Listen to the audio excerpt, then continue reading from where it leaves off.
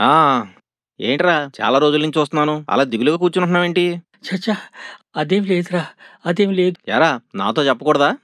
పదిహేను సంవత్సరాలు కలిసి ఒకే ఆఫీసులో పనిచేస్తున్నాం. సాయంత్రం మాటలు పలకరించట్లేదు ఆఫీసులో ఎవరిని కూడా కలవట్లేదు.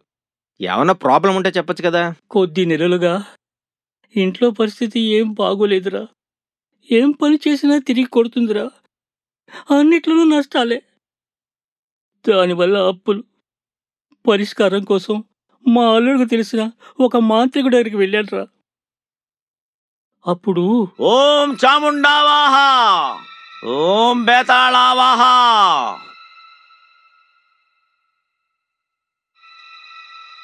ఈయనే స్వామి? "ఉమ్, సమస్య అర్థమయ్యింది. మీరు ఈ నిమ్మకాయల వంక అలాగే చూడండి.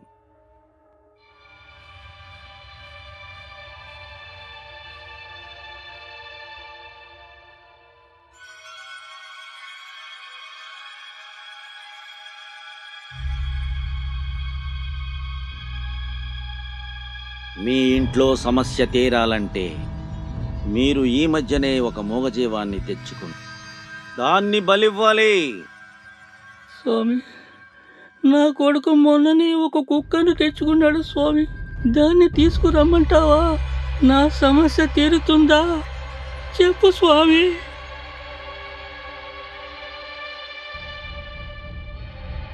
బలి! అప్పటి నుంచి మా ఇంట్లో పరిస్థితి మరీ దారుణంగా తయారైందిరా. ఏం చేయాలో తెలియటం లేదు. ఒరేయ్ నువ్వు భోంచేస్తే మీ అమ్మాయి కడుపు నిండుతుందా? మరి కుక్కను బలిస్తే నీ సమస్యలు ఎలా తీరతారా ఆ, సైన్స్ ఎంత డెవలప్ అవుతున్నా మన సమస్యల్ని బాధల్ని చూసి గమనించి మన ముందు తంత్రాలు మంత్రాల్ని గార్డీలా ప్రదర్శించి మనల్ని మోసం చేసి క్యాష్ చేసుకునే బాబాల్ని సాధువుల్ని మనం నమ్ముతున్నాం. నీకు తెలుసా? వాడు వాడిన కత్తి మిథైల్ ఆరెంజ్ అనే రసాయనంలో ముంచి దాంతో నిమ్మకాయని కోస్తే సిట్రిక్ యాసిడ్తో రియాక్షన్ జరిగి ఎరుపు రంగు ద్రావణం బయటకు వస్తుంది. ఇంతకీ నీ సమస్య ఏంటో నేను నీకు చెప్పనా? నీ అలవాట్లు నీ పద్ధతులు టైంకి పడుకోవు తినవో మళ్ళీ నీ వ్యసనాలు. నీ ఆరోగ్యం మీద నీకు అసలు శ్రద్ధ ఉందా? అందుకేరా మన దేశంలో ఊరికో డాక్టర్ లేడు కానీ వీధికో బాబా ఉన్నాడు.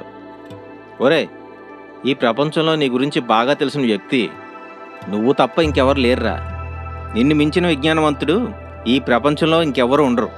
జై విజ్ఞాన్. జై జై విజ్ఞాన్.